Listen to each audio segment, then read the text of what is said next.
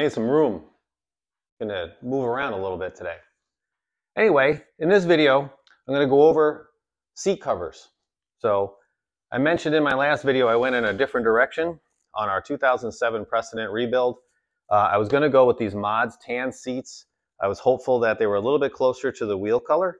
So I wasn't completely sold. I did go with a different brand that we'll talk about, and maybe we'll do a little bit of a comparison. Let's get started.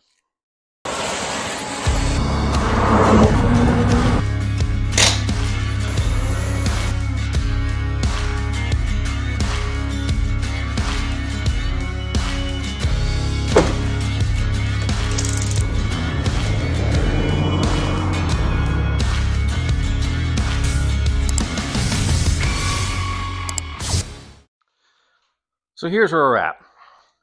I took the tape off of this corner. For some reason, all this foam is missing.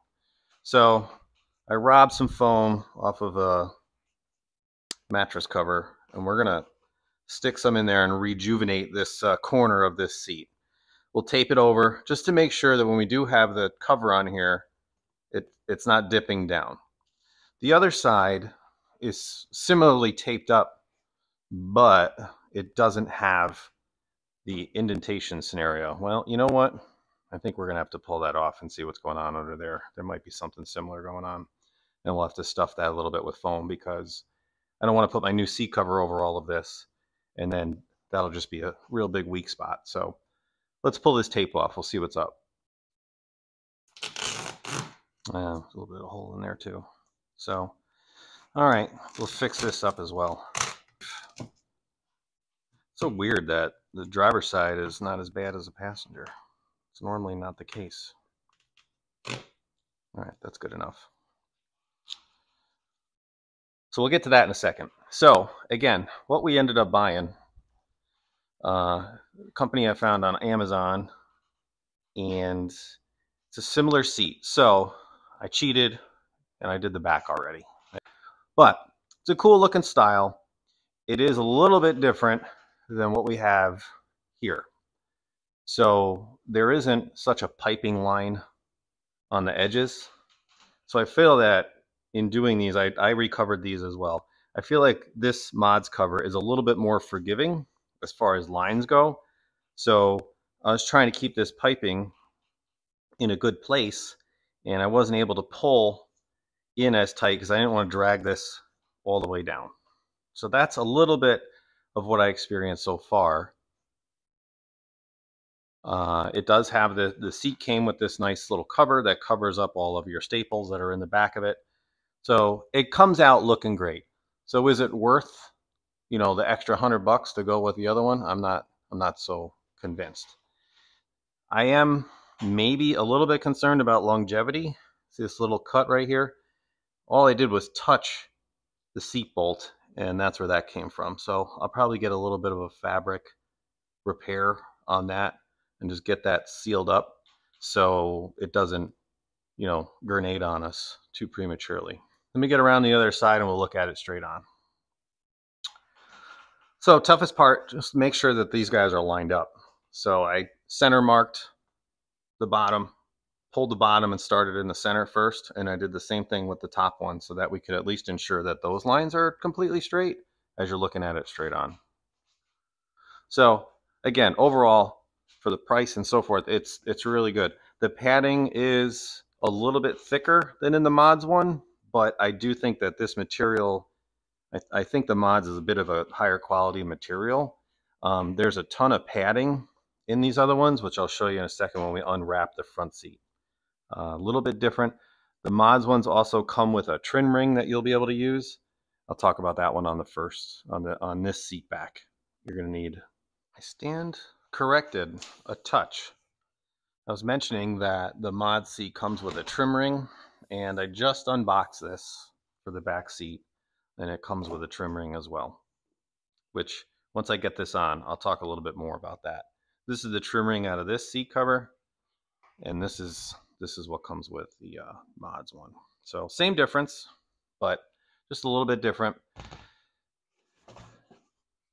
You'll see here the padding on this one is a bit thicker, which is nice. But you know, not all too, too different.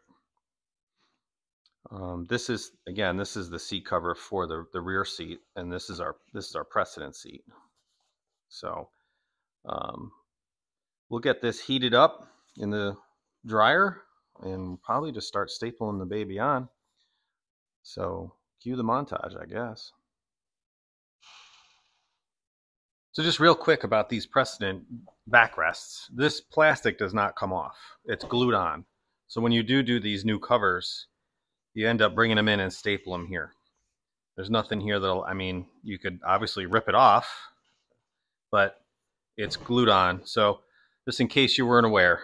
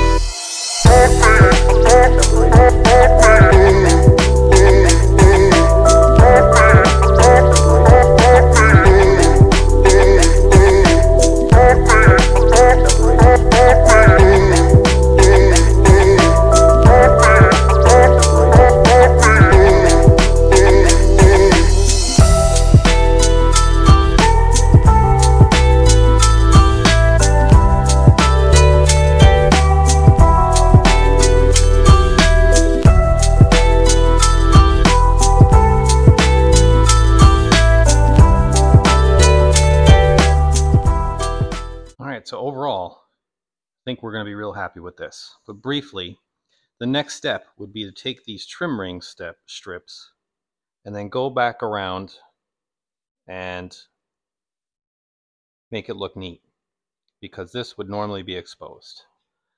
But Amazon does have these covers that I've found that give it the more finished look. And I definitely prefer that for when you're looking at the back seat. So instead of it being all exposed and looking in there, it will match the front. So let's go ahead, I mean the rear, it'll match the rear because these usually come with these covers. So let's uh, button this seat on there and see how she looks.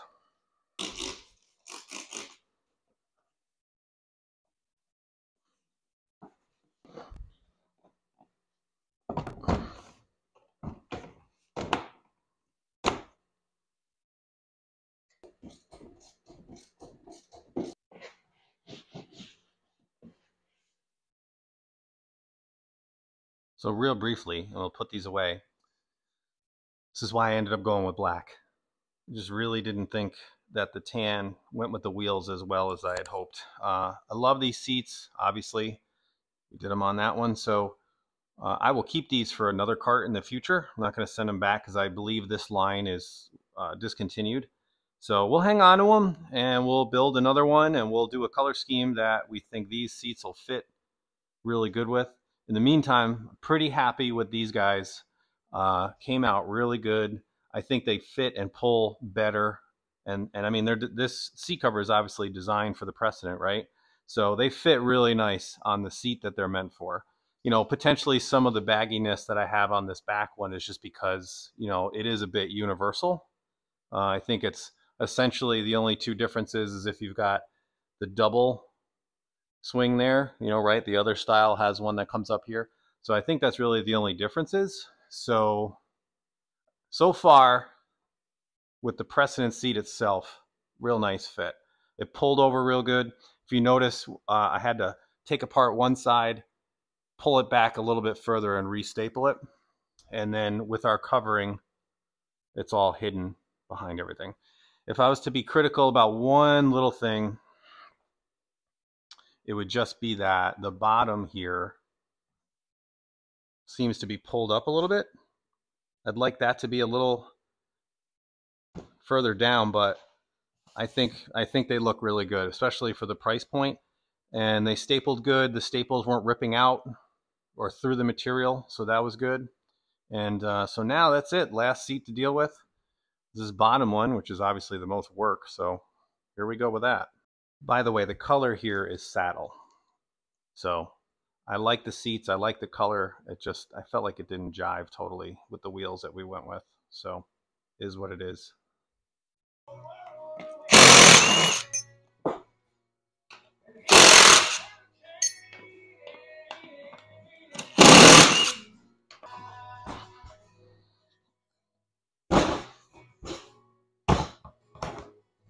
So back outside, I want to refinish the handles or the hip holders or whatever these are. Anywho, these rub the body, right? It didn't do it on this side, but for some reason this one rubs the body all the time. I'm just going to sand this down so maybe it won't hit in the future, but it is pretty rubbed down here and that's comes in direct contact. So sand this down quick clean it off again, and I'm just going to spray them with that bumper and trim. I did brake clean these off, so they should be ready to accept it. We'll hit it with a little of that adhesion promoter and uh, then paint them up with the trim paint.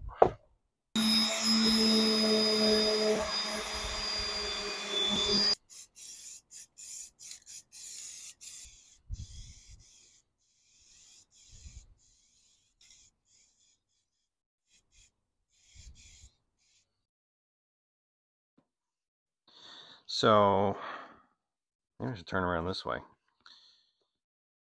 This isn't exactly any type of exact science. I'm not an official upholsterer. But I think this is going to get us where we want to be. A little bit more right there.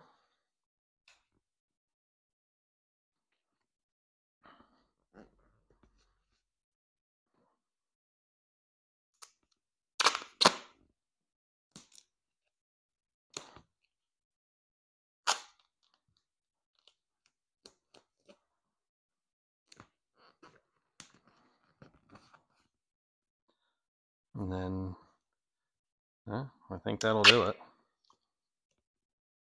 Just want it to be flat for the most part.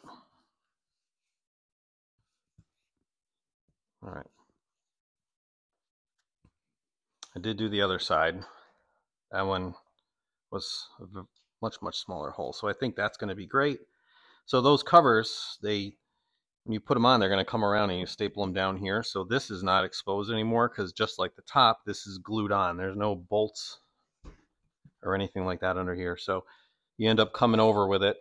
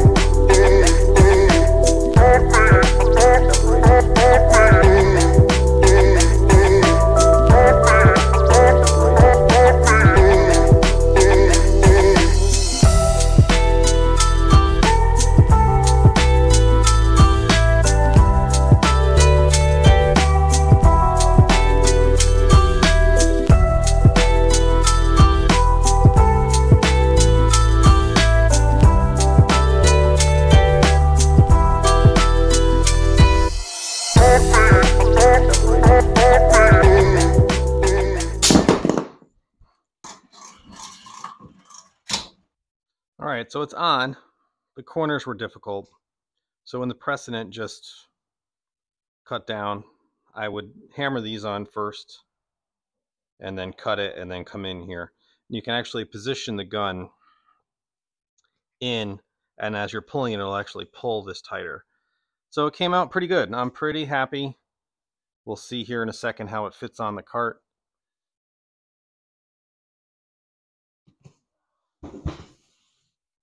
So, not too shabby, huh?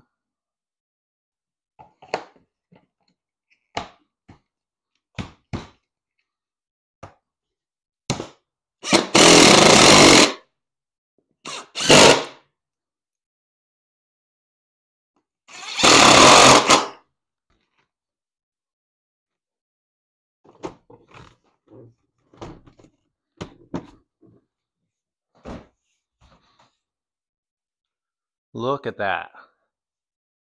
We are so, so close from being done here. Got a couple more little things to do. So, looking pretty sweet. So, hey, thanks for watching. That's going to wrap it up for the seats portion of this build. So, appreciate you guys being here. And my buddy Lou wants to remind you please like and subscribe if you're enjoying our content. Have a great day.